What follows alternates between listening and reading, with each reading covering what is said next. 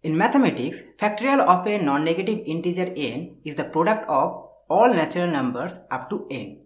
We denoted it as n factorial. Now, for example, 5 factorial is equals to 5 into 4 into 3 into 2 into 1 that is 120. For 4 factorial, it is 4 into 3 into 2 into 1 that is 24. In this way, 2 factorial is 2 and 1 factorial is 1. Now the interesting thing is 0 factorial is also 1. Why is 0 factorial 1? Let's see how. In general, n factorial is written as like this. So n factorial is n into n minus 1 factorial. That is n minus 1 factorial can be written as n factorial by n. Now 3 factorial is 4 factorial by 4 that is 6. 2 factorial is 3 factorial by 3 that is 2 and 1 factorial is 2 factorial by 2 that is 1. If we see the pattern we can write 0 factorial as 1 factorial by 1 equals to 1.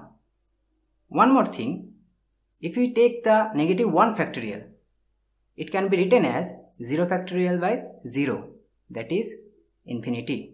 In fact all negative number factorial is infinity. Now why this factorial operator is so important?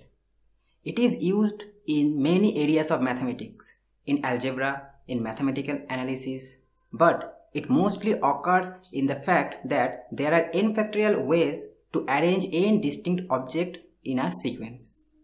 We call this type of arrangement as permutation. Now, what is permutation?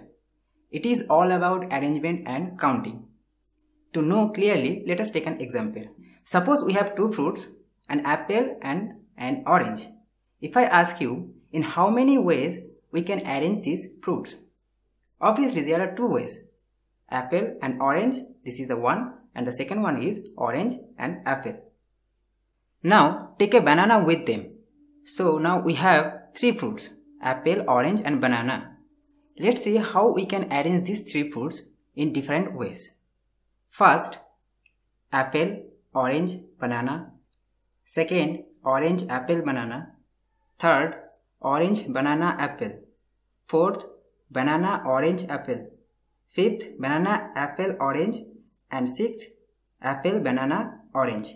So there are six different types of arrangement. In this way, if we have four fruits, then we can arrange them into 24 different ways. So we can say there are three factorial ways we can arrange three different objects. Two factorial ways for two different objects. In fact, there are n factorial ways to arrange n distinct objects in a sequence. This is the basic concept of permutation. In my next video, I will discuss more about this topic.